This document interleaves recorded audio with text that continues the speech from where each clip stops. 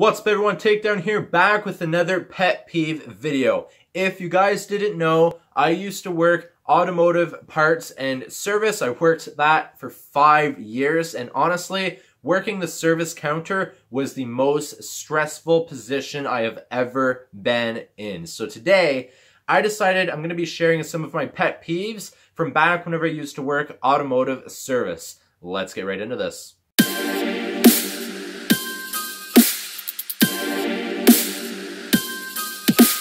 So the first one here, when a vehicle would get towed into the shop and the owner of the vehicle was not with them, it did not call and did not let us know what was going on, then the customer would come back in later and expect their vehicle to be finished. So one thing at my location, at our service uh, shop, when a vehicle would get towed in, if the customer was not with them, if the tow truck driver didn't know where they were, and if they didn't leave the tow truck driver with contact information, we weren't able to do anything to the customer's vehicle, no matter how simple of job it is or something that is really obvious, like a flat tire. Obviously, you can check that from being outside of the vehicle. You'd be able to tell if it has a flat tire. But if we never were, if, if we're not able to talk to the customer, if we can't get a hold of the customer, or the customer is not with the vehicle, then we cannot do anything to the vehicle. And then customers used to always come back in later, pissed off that it's not done, especially whenever we would tell them, no, we didn't do anything to it. It's not our fault. And the reason for that is if we don't have your vehicle, if we don't have your, for example, if we don't have your information, we can't talk to you, we can't go ahead and do anything to your vehicle because you could simply turn around, lie, and say that that's not what you wanted done. Then you just got all of that work done on your vehicle for free. So just one thing that we do to avoid that is we don't do anything to your vehicle unless we're able to contact the customer. The next one here is since we were near the highway, when travelers would have a problem with their vehicle and come in to see us, they would think they would be top priority and all other work in the shop would stop just so we can get their vehicle done. So for me, that is just not the case. If you are a traveler and if you are if you if you're traveling and your vehicle breaks down, you are not the top priority, especially if you've never come to our location before, if you're not in our system, we don't consider you top priority. Our regular customers that live in the area that come to us quite frequently, they are top priority. So if you come in, if your vehicle broke down or anything like that, we would try to get to you as fast as we could, but we can't stop any work that is in the shop and we can't stop any progress for scheduled appointments or anything like that. In between jobs and in between scheduled appointments, if a mechanic has free time, they will go and do a little bit to your vehicle. Try to do as fast as they can to get you out of here because the last thing we want is you waiting around for hours to get your vehicle back. But sometimes we couldn't avoid that. And a lot of time, these travelers, people that their vehicles break down when they're traveling on the highway, they wouldn't understand and they'd get really pissed off and very vocal to us. And it's not our problem. We, we can't stop our shop progress just to get your vehicle done and push back everything else. So that is the major thing that used to piss me off the most working the service counter and being in charge of service. The next thing is when a customer would drop off their vehicle but forget to bring us the keys, meaning we can't do anything to the vehicle. This used to happen a lot of time when people would drop off their vehicle uh, and go to work, they would take their keys to work with them, and then we sometimes weren't able to call them, especially if we're not able to reach them when they're at work. Now, most of the time with this, if the customer forgot to give us the keys, they wouldn't be pissed off, but our mechanics sometimes would be a little bit frustrated and try to take it out on us. And it's like, hey, it's not our fault. They left the vehicle, they took the keys with them. It's not the service person's fault. The next ones here would be when a customer would come in for safety, but they don't pass. They fail the safety. Now, them failing the safety isn't what used to piss me off. What used to piss me off is whenever a customer would come in and say something like, why can't you guys just pass me? I really need my vehicle. Or something as small as that. You guys can't pass me for the safety. No, we can't. We have to do a specific way. We have to follow standards. We have the book in front of us of everything that gets checked. Everything has to be checked by the mechanic, the one that is doing the safety. He has to sign off on it, and I have to sign off on it. So if there's something that we say is okay, if we fake a safety, if you get stopped by MTO, uh, Ministry of Transportation, that falls back on us because our signatures are on it. So not only would the mechanic that did the safety get in trouble, but I would get in trouble too. And I'm not risking a huge fine just to get your vehicle back on the road, even if it's unsafe. So I'm definitely not going to do that. And that is definitely something that would always piss me off at work. The next one is when a customer would come in for tire repair, but their tire is beyond repair and they should be replaced, but they just want it repaired. Some of the time customers would be understanding and would just go ahead and replace that one tire or sometimes two if it depending on the vehicle and uh, what their situation is. But a lot of time the customer would just demand their tire repaired. At that point, we would uh, turn them away. We wouldn't even do anything to the vehicle because if we attempted to repair something that is unrepairable, and if they were to go down the road and it blow out, cause an accident, something like that, that could fall back on us as well.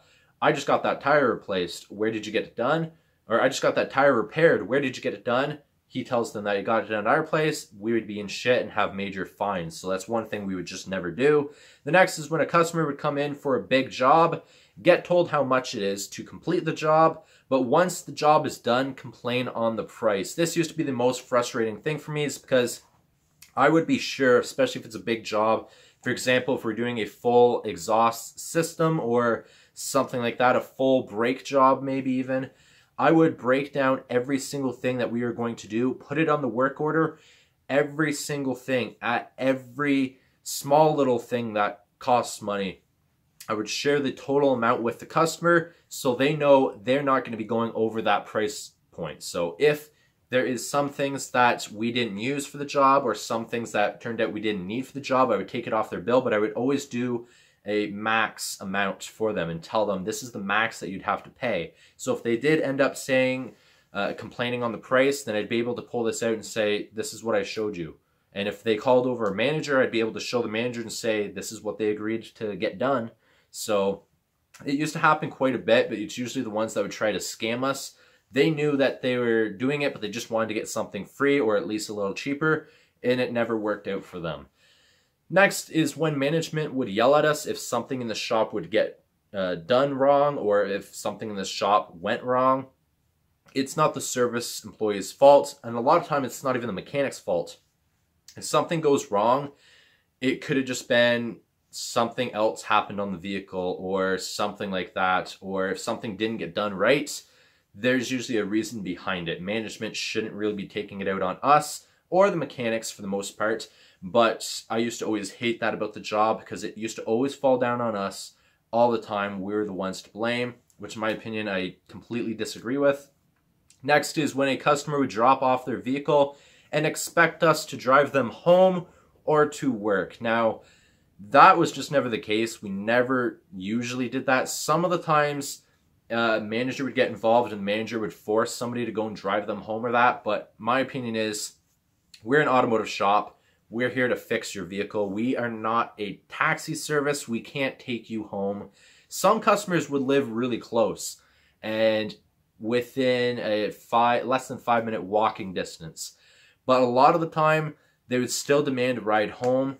I understand more for elder customers giving them a ride home so it's safer for them. But some of the other ones, especially if you need a ride to work, you should have planned that. You knew you were bringing your vehicle to us.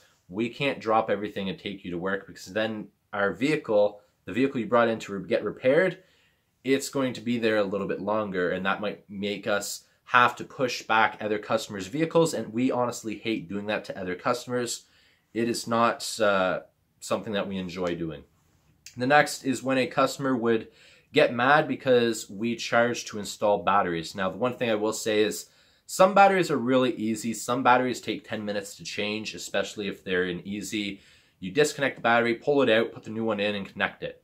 Some batteries you have to take apart a lot of the engine bay, which sucks. Some batteries are underneath the floor of the uh, seats. Preferably SUVs are like that, where you have to disassemble some of the trim or take apart some of the seats to be able to take out the battery, which takes a lot more work.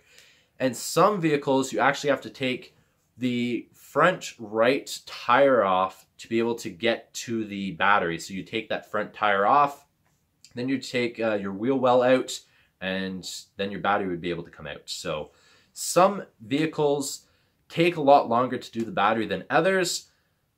If you know your vehicle is one of the challenging ones, you know you have to pay. Regardless, you will have to pay, but usually we will tell you what you have to pay before we do it.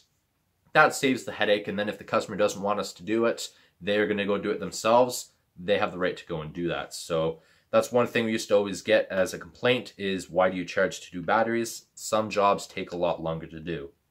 The next is when a customer would walk out into our automotive shop and watch the mechanics work on their vehicle. That was the major thing that was a no-no. I used to always kick out customers and I enjoyed kicking out customers whenever they would attempt to do this because our automotive shop is employees only and that is a safety reason because we're not insured. If a customer is into the shop, if they get injured, we're not insured and they can sue us. We'd get in a lot of trouble and possibly shut down.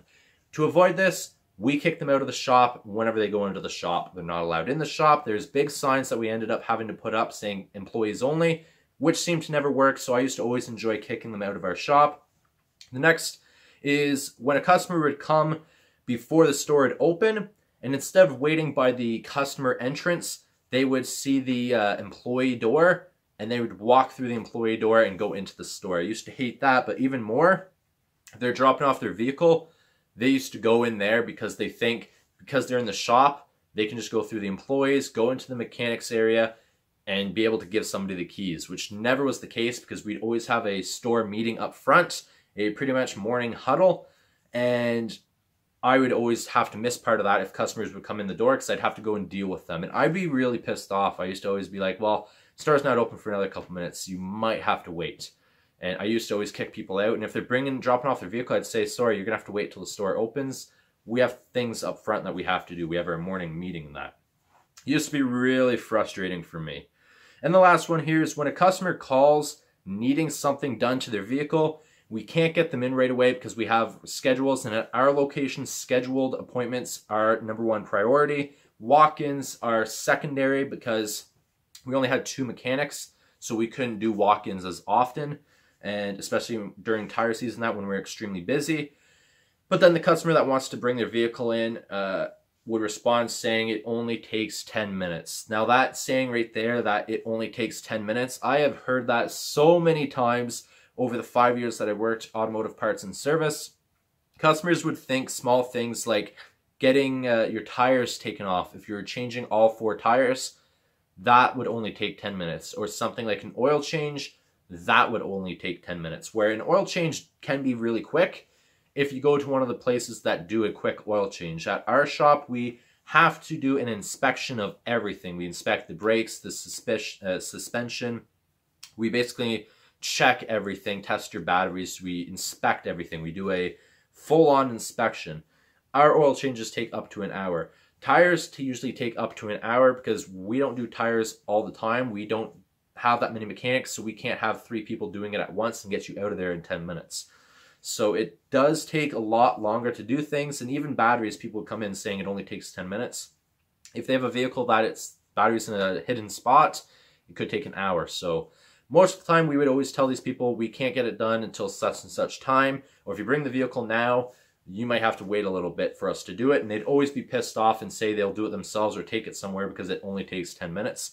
Usually it does not. Usually it takes, like I said, mm, usually an hour. Usually whenever we book anything, it's one hour in the shop typically, but these are the things that used to piss me off working automotive parts and service. These are my top pet peeves.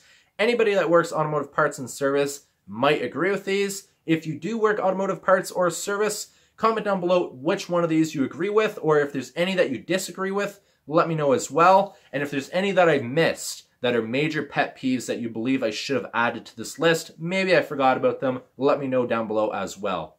I'm to leave this video here. In my opinion, automotive service is a really stressful job because you always have customers yelling at you because one of their biggest investments that anybody can own is a vehicle. So that's one of the reasons why they yell at us a lot more than any other position in the auto any other position in the retail store would be us that would get yelled at. So I am going to leave this video here. I'm going to continue doing pet peeves in the future, but I'll see you guys in the next one. Please take care. Peace.